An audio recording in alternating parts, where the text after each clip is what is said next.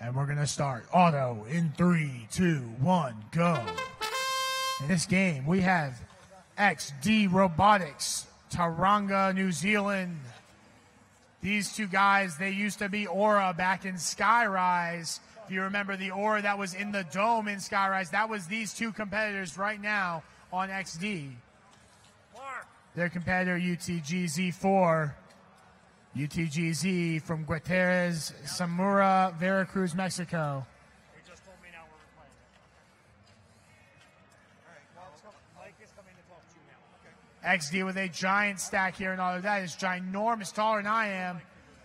They're going back to place it. No 20, just the 10. 1, 2, 3, 4, 5, 6, 7, 8, 9, 10, 11, 12, 13, 14, 15 cones in auto. What a, what a stack. Blue takes it. We're going to go to driver. Driver now in three, two, one, go.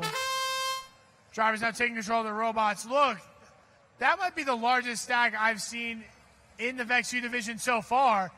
And to have them do that in autonomous mode, it's pretty incredible.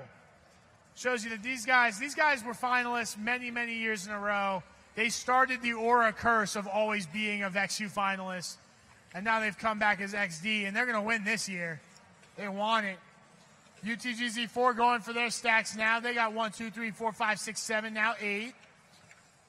Meantime, XD playing from the floor. Nine there for UTGZ now. One, two, three, four, five, six, seven, eight, nine, 10, 11.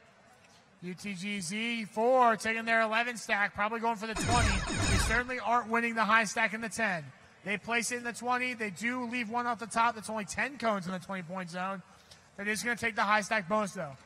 Meantime, XD going for the stationary. They get one, they get two. They want to make sure they secure it. And then they put a small stack into the 10 point zone. UTGZ4, they drop them all, will go out the front of their robot. They back off. They're going to try to pick it up later, I think. As XD puts a blank in the 10.